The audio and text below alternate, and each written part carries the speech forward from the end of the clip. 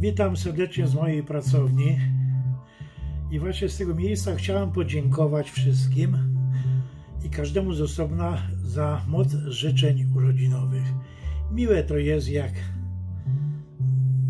życzenia można przeczytać, można tego. No nie jestem w stanie na wszystko odpowiedzieć, to wiadomo, ale cieszę się, że mam jeszcze tylu fanów, znajomych, że dobrze mi życzycie. Zresztą ja zawsze komu nigdy nie byłem zazdrosny o talent, o to nawet mając tą grupę, moje abstrakcje tam polecam, żeby się promowali, że, żeby każdy mógł zaistnieć, bo nie jest tak łatwo zaistnieć no, w świecie kultury, w świecie malarstwa, rzeźby, fotografii.